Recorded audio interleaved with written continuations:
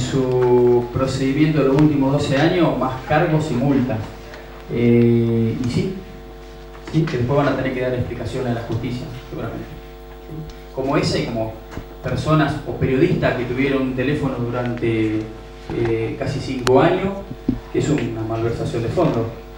Diga el nombre. Sí, van a- no, pero va a tener que ir, va a, tener que ir a, a declarar a la justicia el día de mañana. Eh, no, no, no caen todos. Caen todos, no caen todos. Pero eso es malversación, están usando un teléfono que es municipal, que lo paga la ciudadanía, lo está usando una persona que no pertenecía y no era empleado municipal.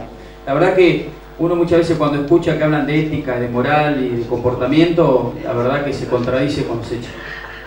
Y esas mismas asociaciones, en algunos casos se daba que eran los mismos empleados que ocupaban diferentes cargos. Sí.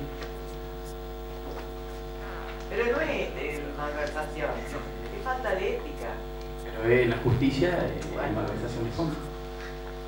Por eso cuando lo, lo escuchás hablar de ética, de moral y de conducta, la verdad que hay que empezar por casa. Sí, como lo, otra como lo he dicho en miles de veces cuando he convocado hasta el primer día eh, de Asunción. Eh, los grandes cambios no, no lo hacemos nosotros, lo hacemos entre todos.